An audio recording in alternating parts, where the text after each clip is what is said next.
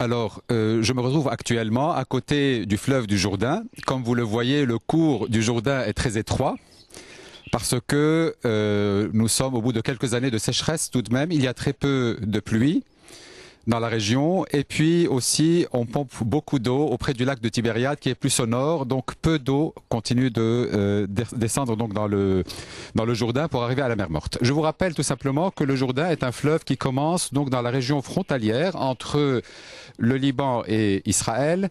Il y a là-bas les sources de Dan, de Césarée et de Philippe. Il y a aussi dans la région de Metula, il y a plusieurs sources d'eau. Et puis le tout descend dans la vallée qui s'appelle la vallée de Hula. Elle arrive dans le lac de Tibériade. Ensuite, c'est le cours du Jourdain qui amène cette eau-là jusqu'à la mer Morte et tout s'arrête là-bas. Parler d'eau dans cette région, c'est euh, parler euh, de quelque chose d'extrêmement important. C'est une des raisons certainement du conflit dans la région. Hein, c'est le conflit sur l'eau puisqu'on manque d'eau. Hein, tous, les pays veulent avoir de l'eau. C'est donc une des régions du, conflit. C'est une question de mort et de vie.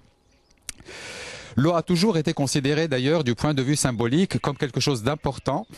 Hein, je parlais de la mort et de la vie. Ah, si on se noie dans l'eau, on meurt. Et en même temps, on ne peut pas vivre dans le désert sans eau.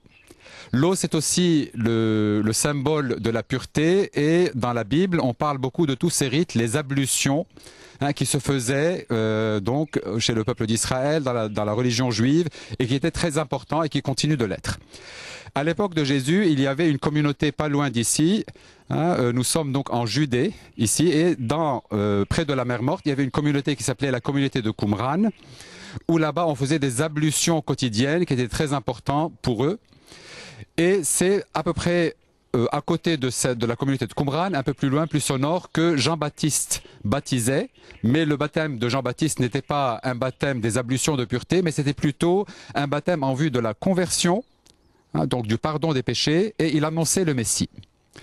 Et Jésus est donc venu se faire baptiser par Jean le Baptiste, lui qui d'ailleurs n'avait pas besoin véritablement de conversion ni de renoncer à ses péchés, mais c'est par solidarité avec nous que Jésus a été baptisé. Hein, on se souvient de cet épisode dans l'Évangile qui nous dit que les cieux s'ouvrent et la voix du Père dit ⁇ Celui-ci est mon Fils bien-aimé, en lui j'ai mis tout mon amour ⁇ et la tradition chrétienne lie notre baptême à nous au baptême de Jésus. Hein, d'ailleurs, les pères de l'Église ont cette très belle expression où ils disent que Jésus a plongé dans les eaux du Jourdain non pas pour être purifié, mais pour purifier l'eau qui ensuite nous purifiera à nous les chrétiens par notre baptême.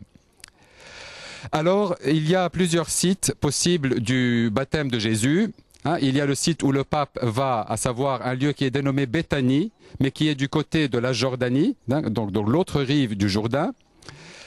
Et alors, pourquoi est-ce que c'est le lieu qui s'appelle Béthanie? Car dans l'évangile selon Saint Jean, on nous dit que Jean le Baptiste baptisait dans la région appelée Béthanie, au-delà du Jourdain.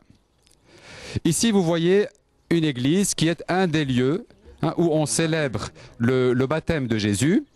Hein, et donc, ce qui est important pour nous aujourd'hui, c'est que quand le pape va célébrer hein, le, baptême du Christ, eh bien, que nous nous souvenions de notre propre baptême.